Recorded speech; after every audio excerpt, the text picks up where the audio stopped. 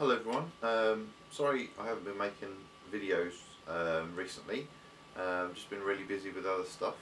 Um, but next year I really want to make something of this channel, so I'm going to get back into making videos. So to help me with that I thought I'd do just a really quick video today on something I've been posting about on some of Facebook groups, uh, my Twitter and Instagram account. Um, so yeah, let's get into it. Uh, I'm Jay and this is my 3D adventure.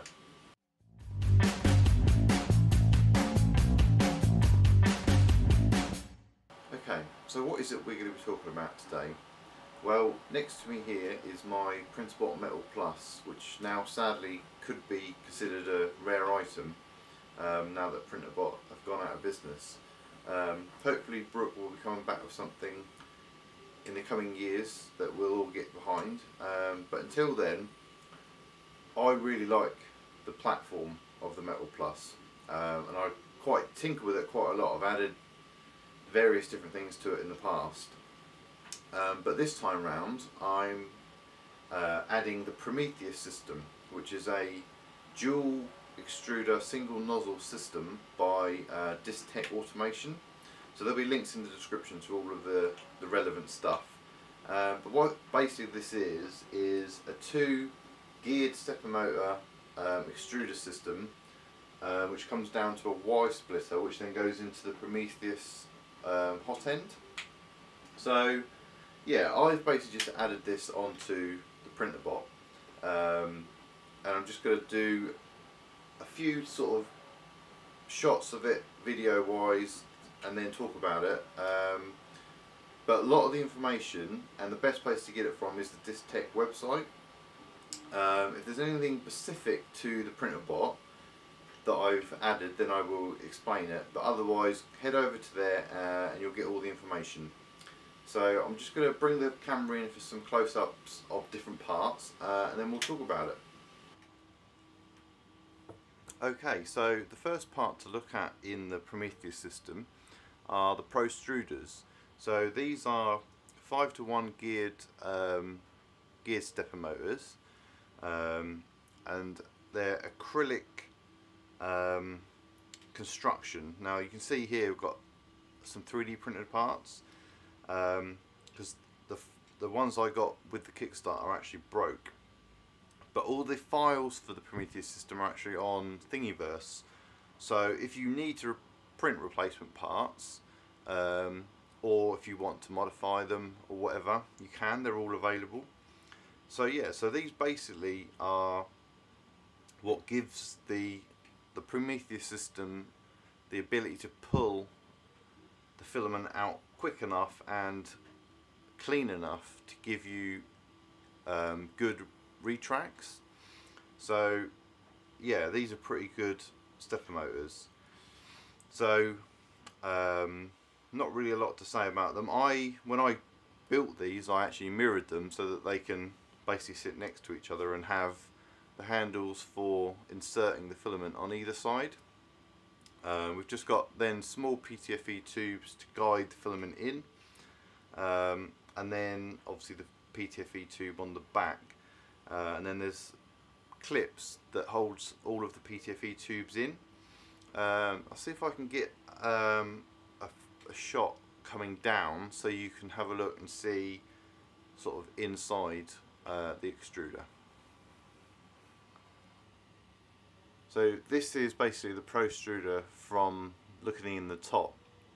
So you've got your filament coming in from this side, um, a small bearing uh, under this screw and obviously your drive gear here and then this is your output so you can see that it's a fairly tight path um, and then if you you can adjust that by pushing the PTFE tubes in slightly more if you want to um, or I believe there might be um, a remix for this on Thingiverse but I haven't looked in uh, quite a while so yeah, that gives you an overview of the filament path and the way that the Pro Extruder works. So you can also see here, if I just zoom out a bit, um, I had to basically find a way of mounting the two pro extruders to the Printrbot.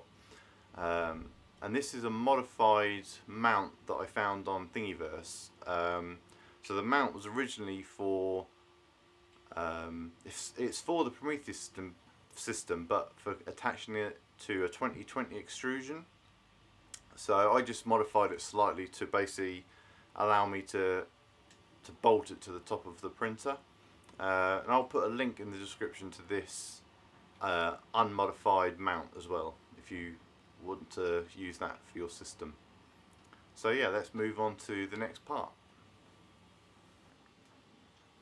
Okay, so the middle step in the Prometheus system is the Y splitter. So basically there's now quite a few different Y splitters available on Thingiverse, um, actually including the Pro Feeder, which is what this is called.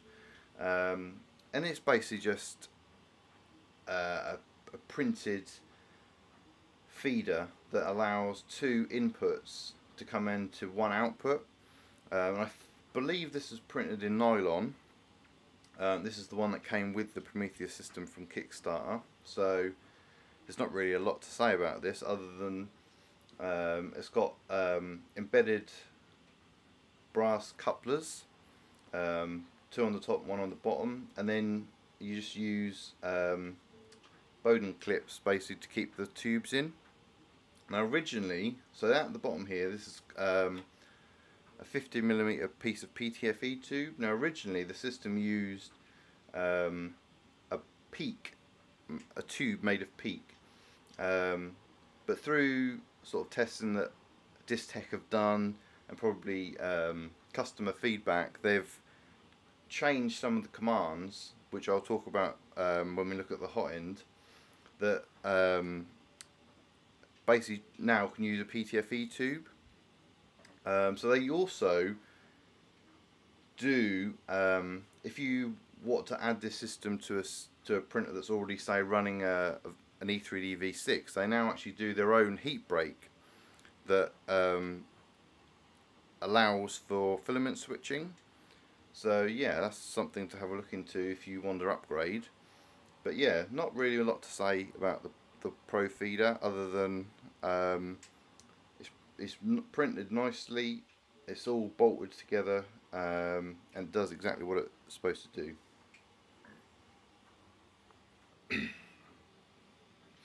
Okay, so let's move on to the last part of the Prometheus system uh, and that's the Prometheus uh, hot end. Now this is the version 1 hot end I believe. Um, the version 2 has got a slightly different um, heat block um, but essentially they're the same thing. So this uh, Prometheus hot end is an all metal hot end um, and what makes it a little bit different from other hot ends is that it's completely customizable in um, heat zone and cold zone and transition zone and all of those zones basically. Um, again, Distech automation website is the best place to get all your information on the setup that you can create with this system. Um, basically it uses um, these one piece nozzles um, so this is a 0.6 and the one that's on there is a 0.4 but it's the the nozzle that's sort of the secret to the the way the Prometheus system works um, and it also uses these sort of aluminium nuts to customize the heat zone. Um, and I can show you a, a photo of that a bit later on.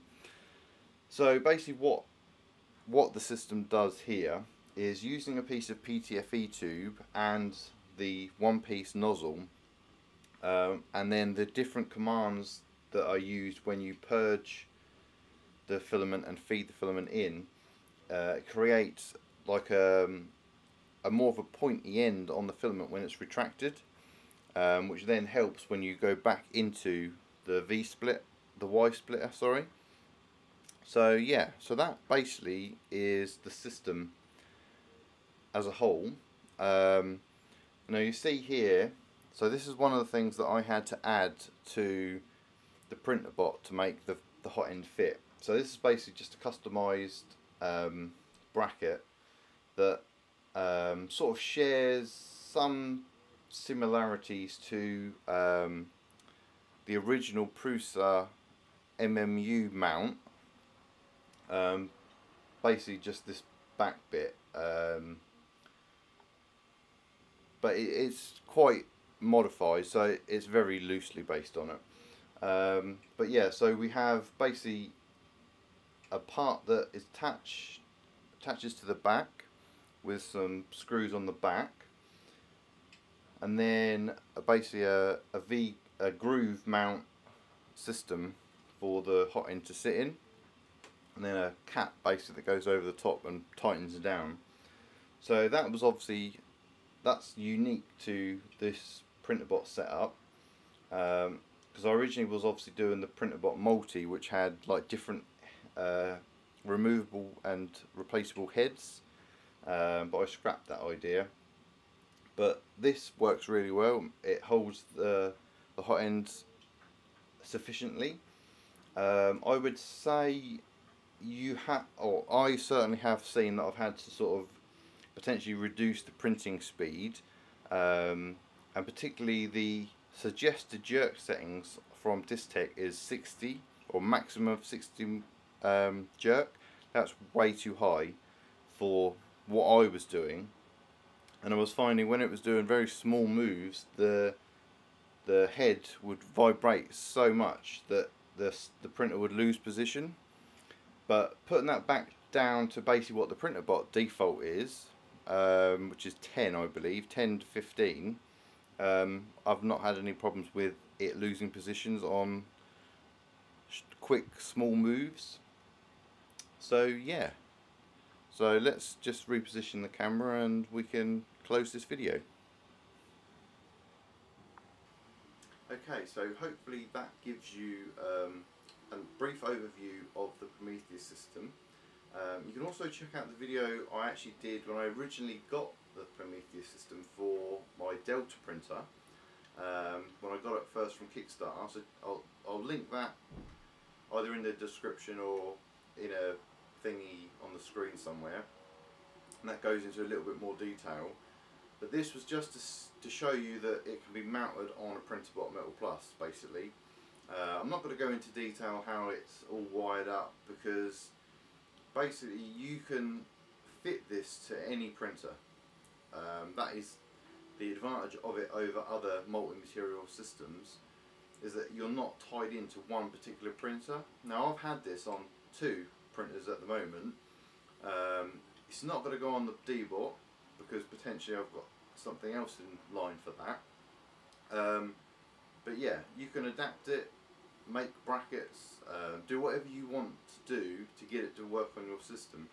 All you need is the ability to connect two um, extruder motors um, and that's basically it. Everything else is done in the firmware and then in your slicer software. So if you want any more information go to Distech Automation's website.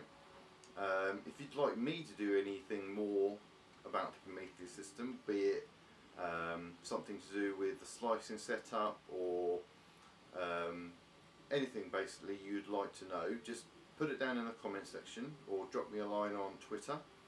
Um, yeah, so hopefully this video will come across okay for my first video in a while. Um, again, if you've got any comments on the actual video uh, and how I can improve, also put that in the comments section or hit me up on Twitter. So yeah, uh, thanks for watching. Um, and until next time, which will probably hopefully be after Christmas, there'll be more regular content. Um, keep on making. So I'll see you next time.